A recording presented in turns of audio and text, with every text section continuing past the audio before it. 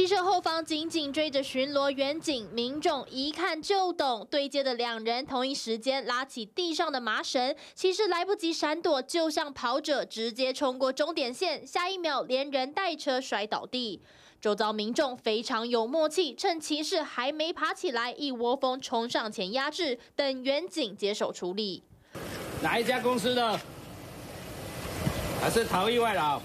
远警一边问话，一边搜查机车置物箱。骑士不发一语，双手上铐，坐在地上发抖哭泣，担心他的身份就要曝光。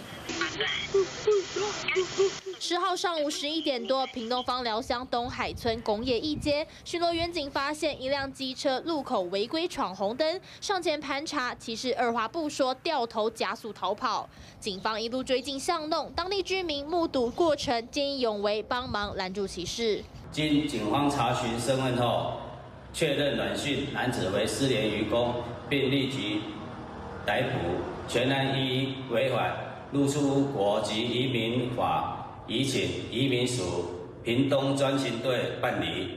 逃跑义工身份曝光，软性男子忍不住慌张大哭，以为一时逃得过警察，万万没有想到先落入热心民众手中。TBS 新闻叶凤达蔡新于屏东采访报道。